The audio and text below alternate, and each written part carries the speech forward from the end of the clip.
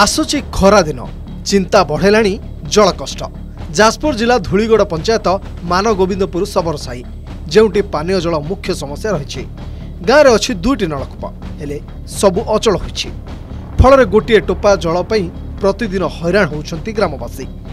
ନୂଆ ନଳକୂପ ପାଇଁ ଅନେକ ଥର ପ୍ରଶାସନକୁ ଭେଟିଛନ୍ତି କିନ୍ତୁ ଆଜିକାଲି କହି ଖାଲି ଦିନ ଗଡ଼ାଉଛନ୍ତି ସମାଧାନର ନା ନାହିଁ ଯାହାକୁ ନେଇ ଦାନଗଦୀ ବିଡ଼ିଓ ଅଫିସ୍ ଘେରିବା ସହ ବିଡ଼ିଓ ମଣିପ୍ରସାଦ ମିଶ୍ରଙ୍କୁ ଭେଟି ଗ୍ରାମବାସୀ ନିଜର ଅସନ୍ତୋଷ ଝାଡ଼ିଥିଲେ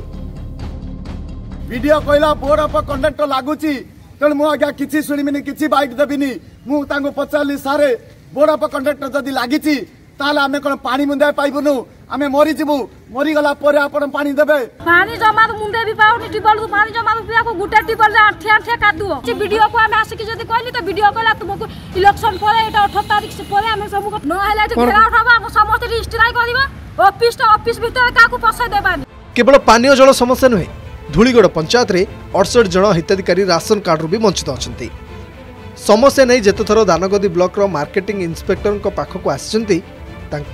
भेट हो पारिना जहाँ को नहीं दानगदी खाउटी विभाग मार्केट इन्स्पेक्टर सुमन चांद को घेरी मान गोविंदपुर सबर साहिनासी घेर करी रंजु बेहरार चाउल आ